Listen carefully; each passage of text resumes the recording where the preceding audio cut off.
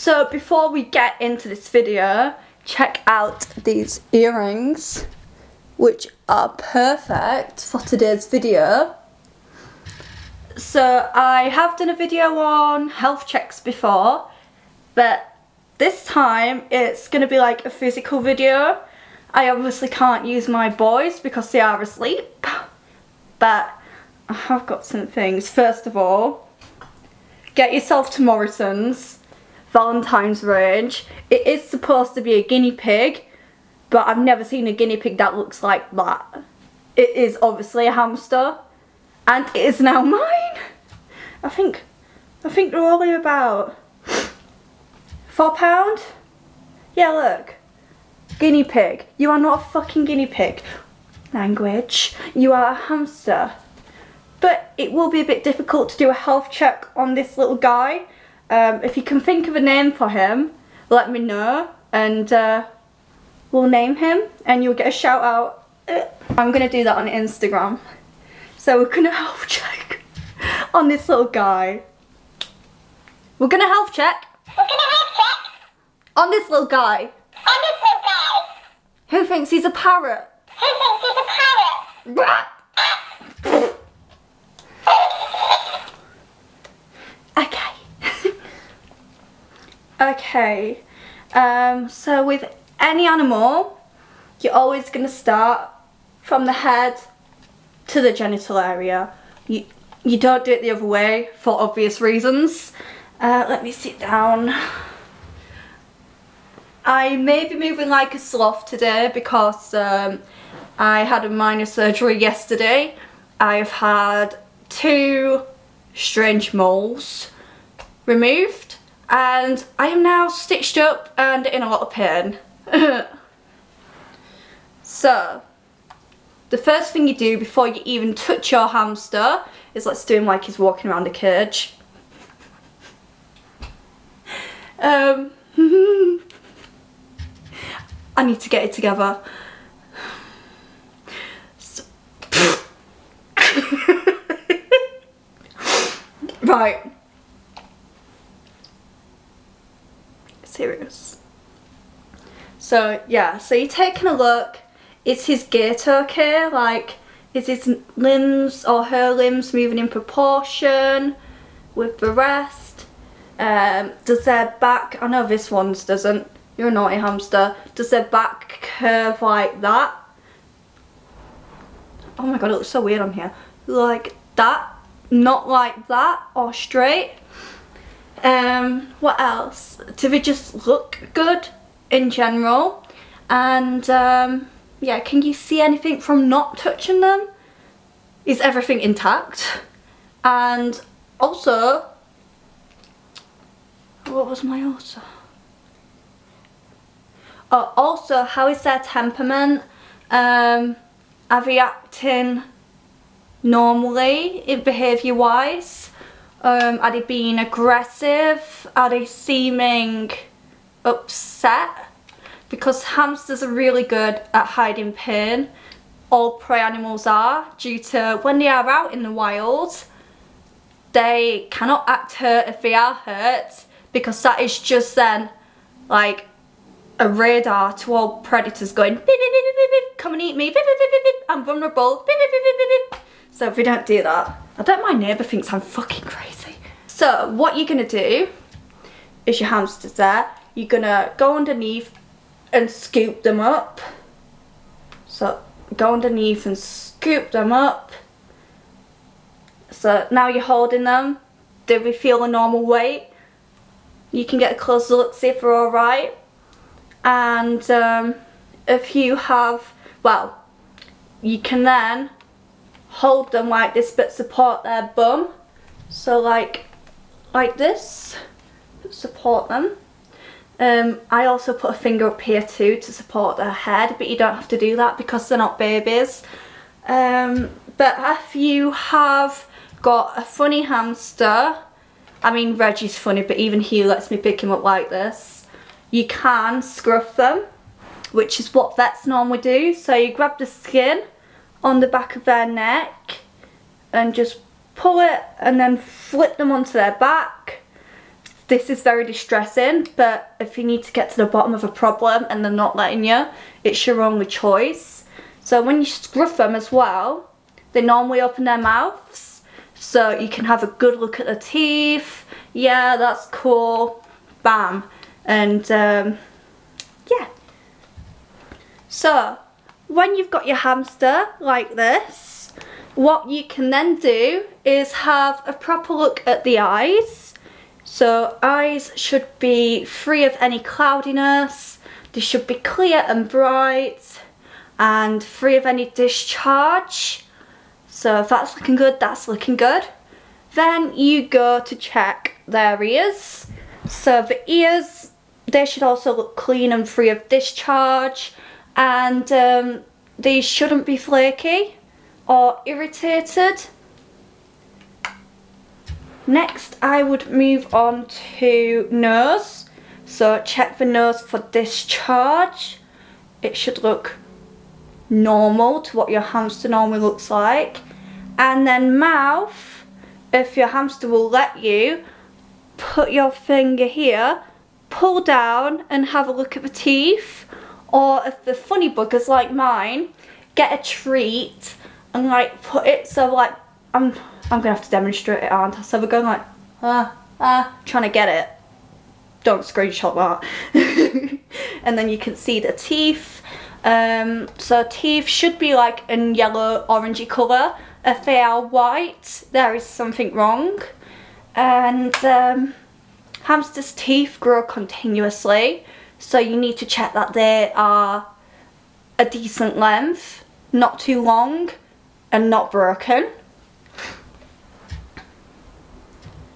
So then what we do is we look at the fur and the skin if you can get through to it. So this is basically checking to see if the fur looks shiny. So it should look shiny but not greasy. If it is greasy, make sure we're using the sand bath. But yeah, it should look shiny, it shouldn't look dull. Um, if there's any alopecia, which is hair loss, that is also a problem. But the scent glands, which are here on a male and here, um, well, on a Syrian, they're very prominent in males and that does look a bit like alopecia but I can assure you it's not. That's just because they they sometimes well they clean the scent glands a lot and uh, they're constantly rubbing them on things so that obviously removes fur. Um, on dwarfs the scent glands are here on their tummies so any hair loss there is completely normal don't worry about it. And then you're brushing through the fur to check if you can see any ectoparasites. So that's basically parasites that live on the outside, like ticks, mites, fleas. But the most common one in hamsters is mites and they can be microscopic so you just have to check for the signs. Then we have a look at the limbs.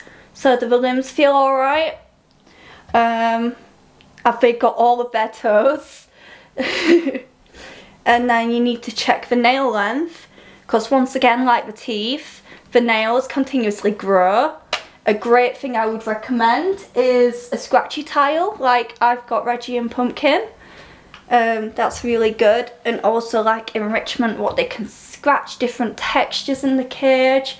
If not, you're going to have to grin and bear it and clip them yourself or take them to a vet to clip. I'd highly recommend taking to a vet because if I tried to do it myself, I'd um, get eaten. so you check if they're fine, do all them checks on all four limbs and then if you get them like that they'll normally have the legs open anyway because like, oh, what are you doing to me? But you can then check their genitals, so you need to make sure that they are clear of discharge, unless you've got a female. If she's in estrus, she can, well, she will have discharge. It's just a common thing, like any animal in estrus. If you don't know what estrus, estrus is, it's uh, basically in heat, getting ready to mate and get pregnant. But obviously, like, hopefully your female is on its own and it won't mate, so she will get a bit of discharge. But on males, there shouldn't be. It should also, the area should also look clean and um, yeah, clean. Uh, check for any poo on the anus, especially on long-haired hamsters. You might have to just brush that out or pick it out if you're feeling brave um, because that can lead to problems. Um, also, if there is excessive poo, well there shouldn't be any poo on there, but if there is, you might need to take them to the vet because it could be a sign of diarrhea, which is really not good in hamsters. And tail, that should be intact. So, whilst you are feeling the fur and stuff, obviously feel for lumps and stuff. If you're feeling brave, um, I would totally recommend this. It's very taboo for non-hamster owners. But when you're checking the genitals, uh, feel the male's testicles, see if you can find anything abnormal in there.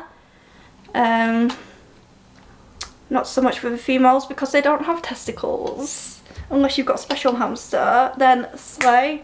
But um, then we're going to get on to weighing. So um, what I do, because my boys are fussy, I stick them in a glass jug I obviously put the jug on the scale first and reset it so it's used to the jug's weight. I put my boys in it one at a time and wear them that way. But if you have got a good hamster, you can just put your hamster on the scale with a treat and do it that way. And um, I'd recommend doing this weekly so you can detect any changes in the weight, any drastic changes, check if they're getting underweight or overweight, it's useful to do and between then you can just do body condition scores which is having a look you can google these they're really good body condition scores one is underweight and five is very overweight um, we aim for animals to be a three so I'd say this guy's whew, this guy's a two look I can I'm sorry, I didn't mean to do that. But yeah, that's my health checks. And daily health checks, you can do those about once a week. But daily health checks would basically be check the water and food intake, um, see if they're eating because animals can be anorexic if they have like underlying health problems, dental problems, the list goes on. Um, check that they're drinking because that's very important. Um, when you're having a spot clean, check the feces. Does it look normal? Is it watery? Um, check that they're urinating. Um, that's it really. And any problems, straight away get booked in with your vet. Preferably an, exo an exotic vet.